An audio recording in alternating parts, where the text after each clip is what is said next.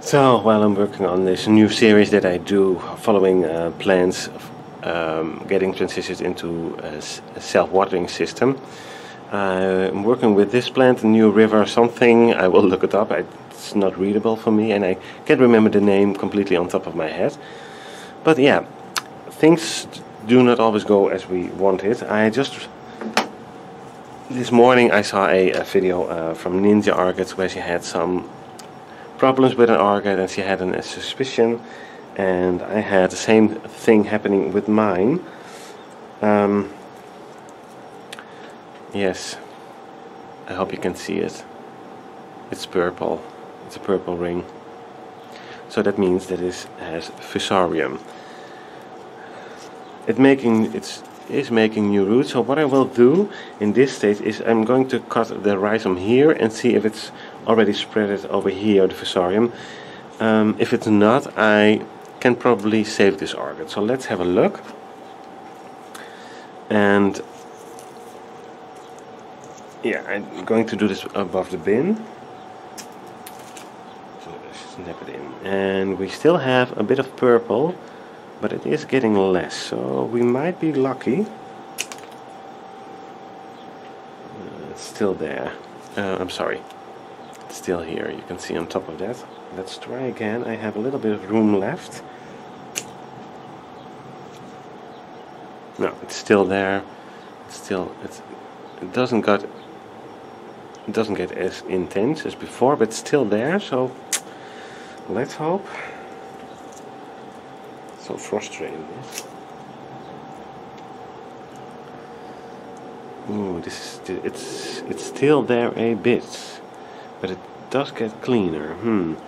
Um, and I will clean this. I will uh, disinfect this later on. But I need first to cut this again to see if we are correct. Um, yeah let me see this to you guys. Show this to you guys. I have still a bit of purple here. And I have really a little bit of rhizome left so I want to keep this new growth uh, on this bulb of course because uh, a, a new growth that size and with those roots is not probably not going to make it on its own yet so therefore I'm going to cut off a little bit more. And what do we see? Is it green? Is it green? I think so. Let me check. Well actually there is a little piece. Hmm. I will uh, get some alcohol. Because I didn't clean my cutting tool and that's not good but I needed to cut that many times so I will spray whoops, a little bit of alcohol directly on the plant. And trust me it doesn't like it. Well I, I think it doesn't because it's like you have an open wound on yourself. I just imagine that but I think it will uh, will bite a little bit. But it needs to kill off the bacteria that get in the virus probably as much as I can and I also will get the sheet off. But I'm going to make a separate series of, series of this one. We're going to follow this and see whoops if we can save this orchid. Uh, one more shot at the rhizome cut. I'm sorry. There we go. Because once I put it up we will not have the ability to watch it again. I think it's clean. I think it's clean. And also we have quite a few new roots on that new growth. So fingers crossed and hopefully they will start growing on. What I do next is the alcohol I let it ev evaporate. So I try to clean uh, this as much and then I'm going to um, put some cinnamon on the plant. And I'm not going to touch it with my fingers because I hold the other parts. I have no idea what's around the orchid but I uh, first I will give it a uh, spray with hydrogen peroxide for the roots and for uh, maybe some slug eggs, bush snail, bush snail eggs and then when that is dry I'm going to seal the wound with um, cinnamon and put an orchid up and leave it alone and try to get it uh, to grow. So I'm going to do that now and we'll be back. What you see now is a uh, cut rhizome as before, but now I did put some uh, cinnamon on top of it. So I first did some alcohol just to make clear that I disinfected, I try at least. Then some hydrogen peroxide on the whole plant for uh, some leftovers, some eggs of bush snails for example. And now I'm sealing this with um, the cinnamon. I'm gonna leave this to dry. As you can see it's wet and I need to have this dry because I will up pot it and then uh, it's in the pot. So I need to make sure there is not any chance of getting rot inside the plant again. But this is what we uh, are left with. Like I said it has a few new roots and um, I did have some successes with this with other plants they were in similar very similar state and I will uh, show you the plant now it's really it's unrecognizable and if I I probably have some pictures of it I, if I can find them I will show you that plant as well it was in uh, basically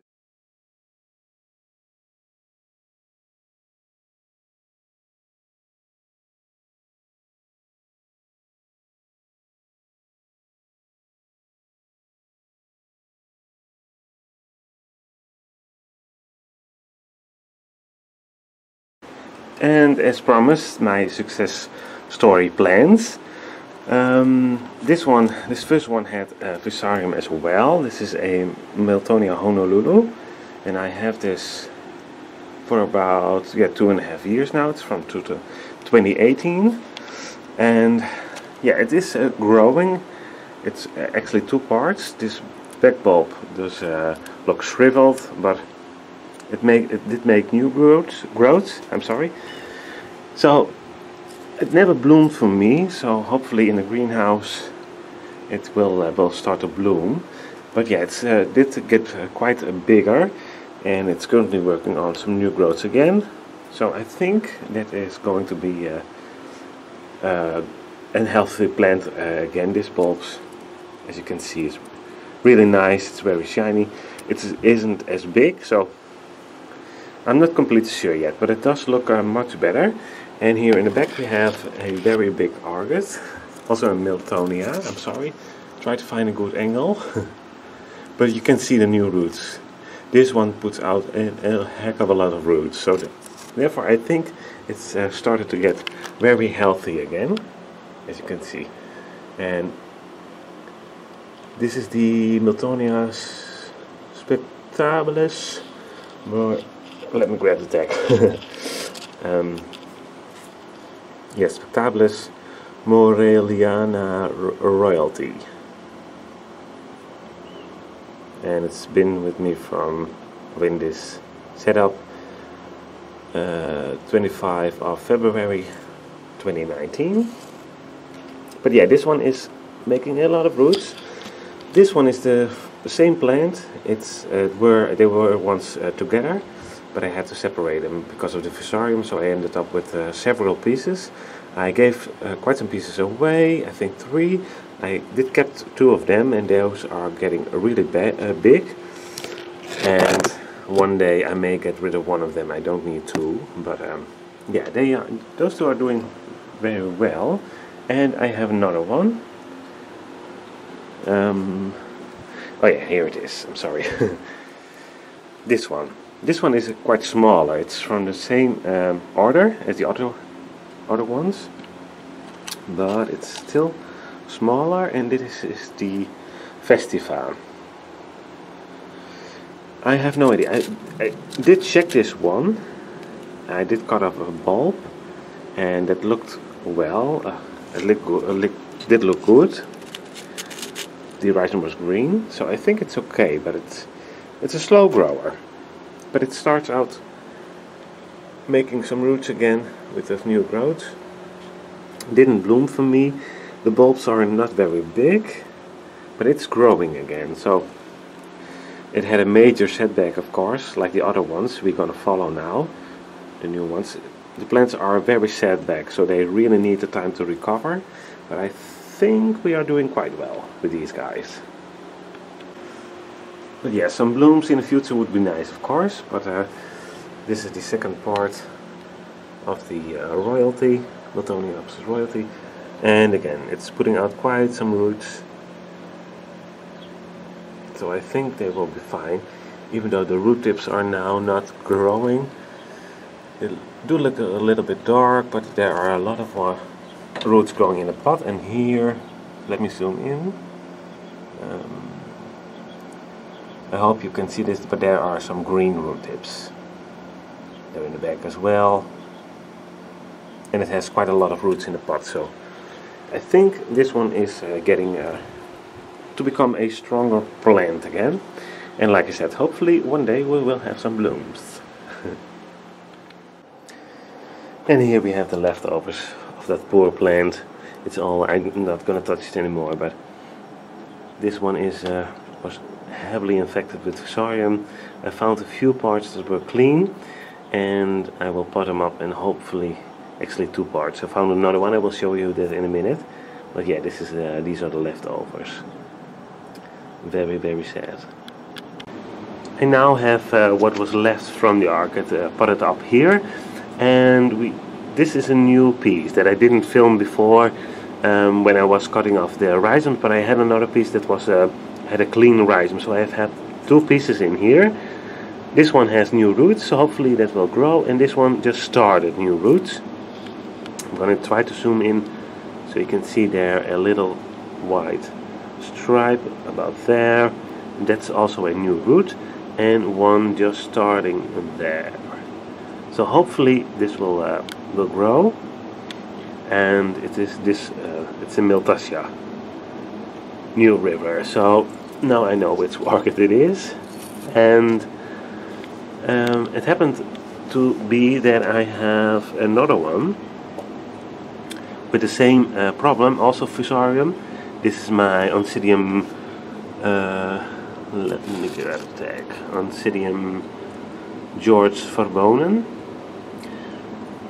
Also same problem same um, hopefully solution same um, uh, treatment I should say and over here I have a Miltonia.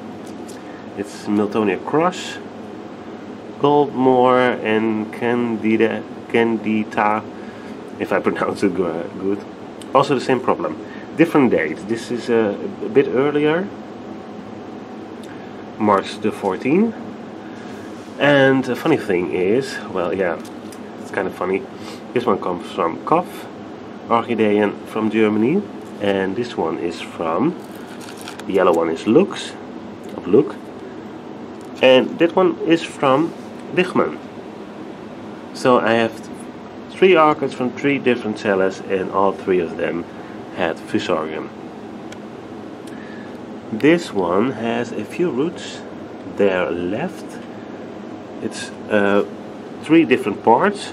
You see here one bulb with uh, new growths on and this one I'm sorry this one is starting a new root and there's my camera. You can see that little green thing. Oh I'm sorry. And there on top of my finger. So let's hope that will start shooting out roots. And this one has also new roots started. So they all have somewhere some new roots so hopefully that will be enough to get them uh, growing. I have them here so I have them uh, together so I can spray them easily. Because what I now do is uh, spray them every day with uh, just pure RO, RO water I'm sorry and um, only some seaweed in it. I will see you to, uh, let you see the product just a minute. I use this product BioBizz Algamec Alg-A-Mic I'm sorry and I really really like this brand. They have a lot of more stuff. I will uh, make a video about that uh, one day but this is the seaweed that I uh, like to get. And it's very green. Sometimes it's brown. If it's brown it's not good anymore. You have to have the green one at least from this product.